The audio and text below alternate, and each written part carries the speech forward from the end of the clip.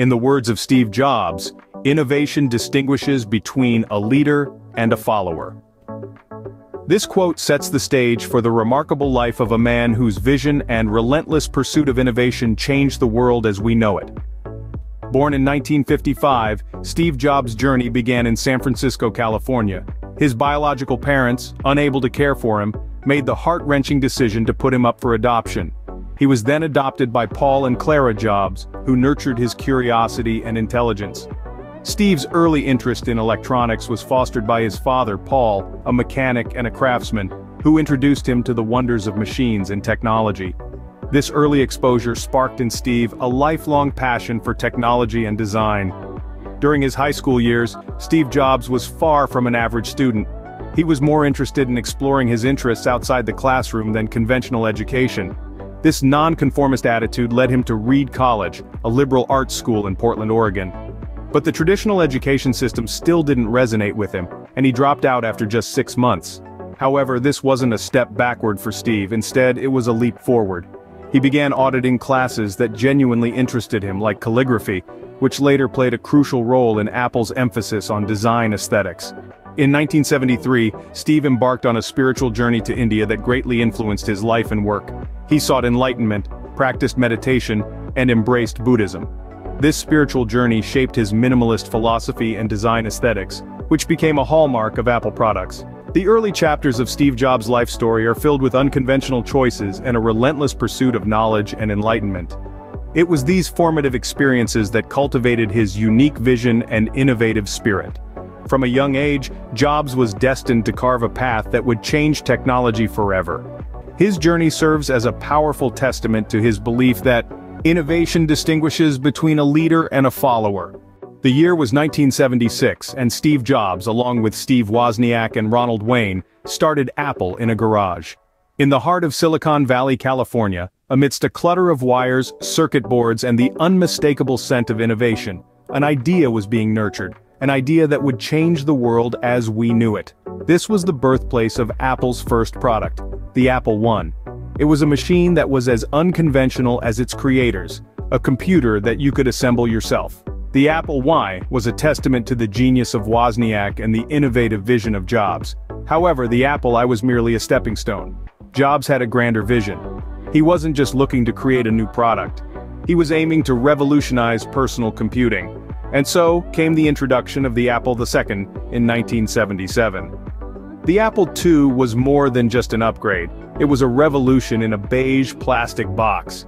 It was the first consumer product sold by Apple Inc and it was a major success. Unlike its predecessor, the Apple II was a ready-to-use computer. It had a color display, a first for personal computers, and it came with two game paddles right out of the box. It was friendly, it was inviting, and it was an instant hit. The Apple II wasn't just a computer, it was a statement. A statement that computers were not just for corporations or the government but for everyone. Jobs' vision for personal computing was beginning to take shape. He saw a world where every home would have a computer, where technology would be accessible, and where computing would be personal. The Apple II was the embodiment of this vision. It wasn't just a machine, it was the future. With the Apple II, Apple Inc. had not just put itself on the map, but it had redrawn the map entirely. This was the birth of the personal computer era. With the Apple II the world was introduced to the future of personal computing. Even the brightest stars experienced downfall, in 1985 Steve Jobs was ousted from Apple. This was a time when the very company he had co-founded turned against him. The boardroom was filled with tension, a power struggle was brewing, and at the center of it all was Jobs. The board's decision to remove him from his post was a shock, not just to Jobs, but to the world. But as we know the story doesn't end here. Jobs, resilient as ever, didn't let this setback deter him. Instead, he channeled his energy and creativity into a new venture, Next Inc. This was a computer platform development company, born from the ashes of Jobs' departure from Apple. Next Inc. was a testament to his unwavering commitment to innovation and his belief in the power of technology to transform the world. Though a setback, this period was a stepping stone for greater things to come.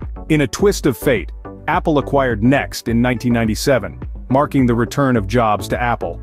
This marked a turning point in the history of the tech giant, as well as the tech industry as a whole. With Jobs back at the helm, Apple was set for a period of unprecedented growth and innovation. Steve Jobs was not just returning to the company he co-founded, he was coming back with a mission, to save Apple from the brink of bankruptcy and restore it to its former glory. And he did just that but not without shaking things up. His first move? Introducing a computer that defied traditional norms. The iMac, with its unique design and user-friendly interface, was not just a computer. It was a statement that Apple was back, with a vengeance. But Jobs didn't stop at the iMac. He had a vision for a world where technology wasn't just functional, but also beautifully designed and user-friendly. This vision led to the introduction of the iPod in 2001. The iPod wasn't just a music player, it was a revolution in the way we consumed music. It was the embodiment of Jobs' belief that technology should fit seamlessly into our lives.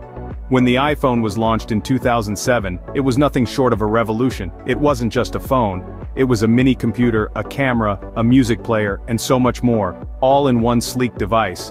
It changed the game for mobile phones and set the standard for what a smartphone should be. Then came the iPad in 2010, the iPad wasn't just a bigger iPhone, it was a powerful device that bridged the gap between smartphones and laptops. It was a testament to Jobs' belief in the power of simplicity. Under Jobs' leadership, Apple had not just survived, it revolutionized the tech industry. Jobs' return to Apple wasn't just a comeback, it was a revolution. A revolution that saw Apple rise from the ashes to become one of the most valuable and influential companies in the world. Despite his passing in 2011 Steve Jobs' vision continues to shape the tech industry. His legacy is a testament to the power of innovation, leadership and unyielding determination. Jobs' influence extends far beyond the boundaries of Apple Inc., permeating every corner of our digital culture. Steve Jobs was not just a leader, he was a visionary. His ability to see potential where others saw impossibility was one of his key strengths. It was this forward-thinking approach that led to the creation of groundbreaking products like the iPhone, iPad, and iPod. These aren't just devices, they're tools that have transformed the way we live, work, and play. Jobs' impact on the tech industry is immeasurable. His insistence on user-friendly design and seamless functionality set a new standard. He pushed the boundaries of what was possible, challenging his team to go beyond the conventional, to create products that didn't just satisfy a need but sparked joy and excitement. And it wasn't just about the products. Jobs' leadership style was distinct. He led with passion and intensity, inspiring his team to strive for perfection. His unwavering commitment to his vision was infectious, motivating those around him to deliver their best. Beyond Apple, Jobs' influence on modern digital culture is undeniable. He was a pioneer in making technology accessible and enjoyable for everyone. His products have become a part of our daily lives, shaping the way we communicate, learn, entertain, and even think. Even after his death, Apple's continued success stands as a testament to Jobs' vision. The company has consistently stayed at the forefront of innovation, carrying forward the legacy left by its co-founder. Apple remains a beacon of creativity and innovation, embodying the spirit of Steve Jobs. Steve Jobs once said, the people who are crazy enough to think they can change the world are the ones who do. And he certainly did.